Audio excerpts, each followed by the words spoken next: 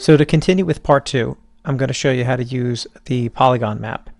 And to do so, I'm going to go to the location where I have some data. And here I have a getting started.xls file.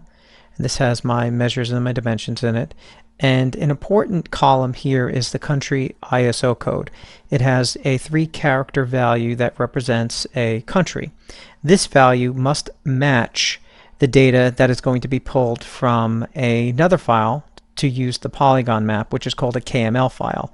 And KML, or Keyhole Markup Language, is an XML type file used for formatting and modeling and storing geographic features such as points, lines, and polygons. And we use that uh, within Qlik Sense to represent the polygon map and the boundary type maps. So you'll see in this example here, I have world.kml. If I edit that with a uh, editor such as Notepad++, uh, you can see there is a particular tag here called name and in that tag we have a value. So that value USA basically is what matches the uh, country code value you can see here in the data. So that's what's needed to set up the polygon maps. So the way we do that is in Qlik Sense, let's create a new app. Call that one Polygon Maps. Click Create. Click Open. And then we'll go into the Quick Data Load and I'll go to the location of where I have my data and we'll select getting started.xls and you can see here in this location we have our country ISO code.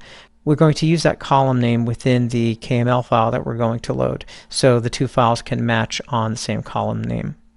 So we'll load that data, close, and what we're going to do is go back into the uh, quick data load interface and this time we're going to add more data and then again navigate to the location of where that data is. And in this case, we now have our world KML file. And you can see that the viewer recognizes the format here. And here we have our world.name column that we're going to call country ISO code. And we don't need the world.point. And we'll load that data.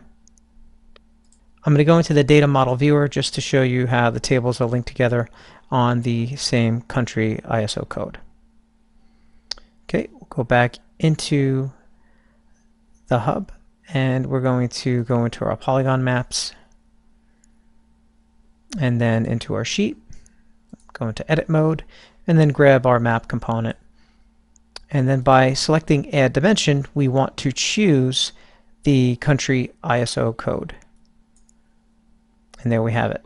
That is our KML-based map.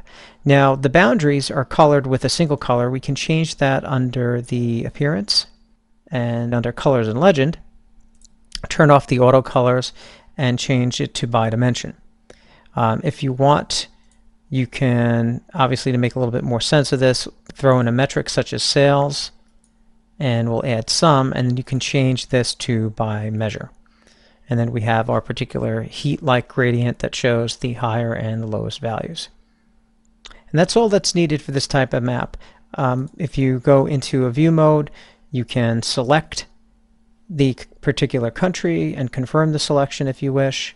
Uh, at the same time, you could also go into um, kind of like a lasso mode and you can lasso individual objects as well, such as you see here. Okay, so hope that's helpful. Uh, if you have any other questions, please put them in the comments section. Uh, other than that, I appreciate your time and thank you, and I will see you at the next video. Take care.